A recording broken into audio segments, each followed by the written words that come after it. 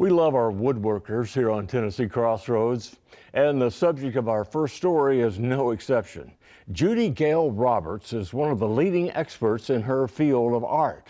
Laura Faber spent the day with her in her shop, and well, once you see her work, you'll understand why she's on the show.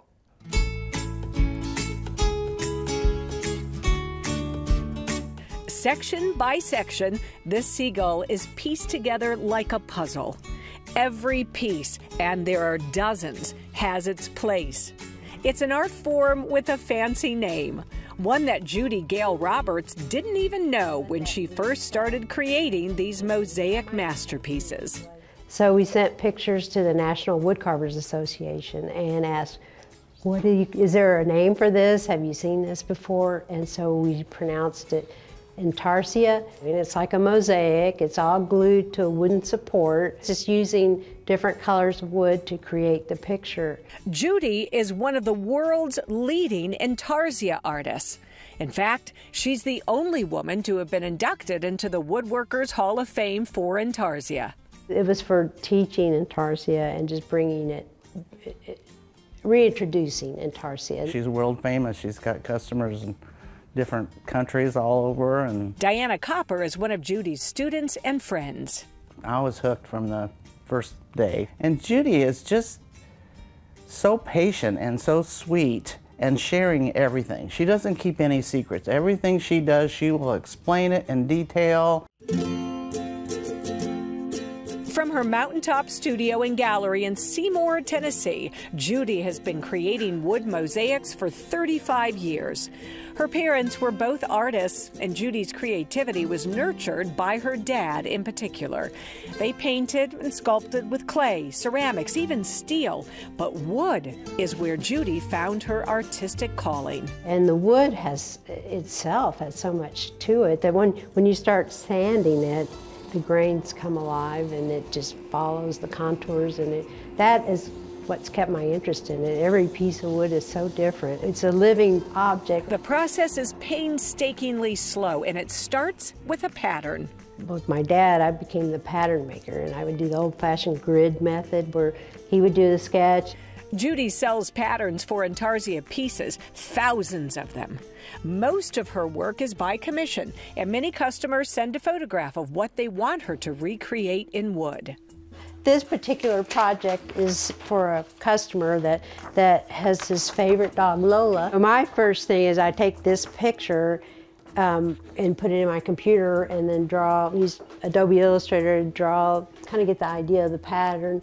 And then I remove the picture and then I start isolating. I start to develop the pattern and figure out what I can and can't cut. This is cut like a wedge or a cookie from a tree. You can see the growth pattern, but it's perfect for um, for a dog or whatever that has kind of a mottled grayish color. Now this is a piece of walnut that has such a cool grain pattern. This is some, they call it ambrosia maple. And what that is, is it's been, a bug has attacked it and wherever the bug has made their hole, it changes the color. Choosing the wood is an important part of the art. I use it all, but my favorite probably is where it's spalted wood, where it's wood that started to rot and it gets different colors and grains. And um, there's so much opportunity to use that because you're really trying to paint with the wood, so you're trying to find the grains that will work with whatever it is that you're making. Except for the blue that you see in an American flag, Judy doesn't paint any of her pieces. All of the colors that you see comes from the actual wood. For instance, this is yellow heart, red heart, the green comes from a poplar, Dark is walnut, the white from an aspen. And the piece that I'm holding here, this is Purple Heart. After choosing the wood, it's prepped and the pieces are glued to the pattern. One by one, each individual piece is cut out. Marianne Vandervoort is her scroller. I am lining my blade up right now to what we call a lead-in line before we get to the, to the um, actual pattern. And I kind of creep along. I let the blade cut the wood. I don't push the wood into the blade. The pieces are shaped, sanded, and sculpted. Three coats of finish are applied, and finally they're assembled and glued onto a common backing. Nothing about this is fast, and it's emotional when Judy lets them go. Like this piece, created for the Old Friends Senior Dog Sanctuary in Mount Juliet. I felt like I knew each dog because I had have to do so much research. How many actual pieces are in that?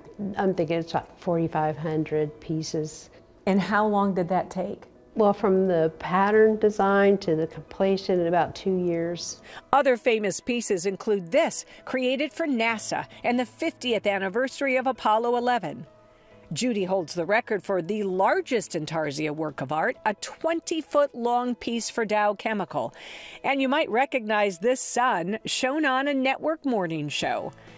At the end of every day, Judy can't quite believe this is her life, that she's made a living from her passion and has a goal for the future. I walk around this building and I said, God, I can't believe I get to do this for a living. My parents struggled so hard trying to support a family that, that I feel so fortunate that, that I've got a crew behind me too that works with me and, and helps this, keep this whole thing going.